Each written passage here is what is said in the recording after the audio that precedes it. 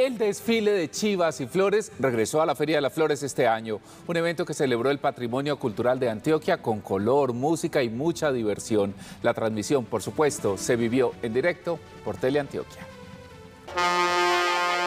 Este evento destacó la cultura antioqueña a través de las chivas, que han sido un transporte tradicional que ha conectado a personas y comunidades rurales durante décadas.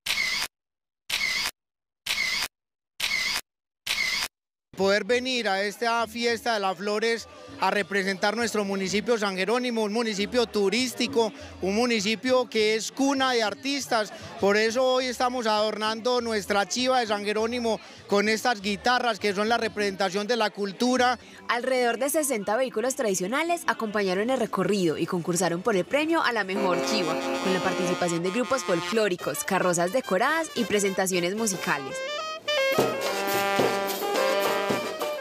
Las Chivas Hernández es cultura, nosotros tenemos una cultura cafetera, pero gracias a las Chivas se desarrolló porque es la que saca los productos del campo, es la que recoge a los campesinos y es la que hoy nos está representando en este desfile.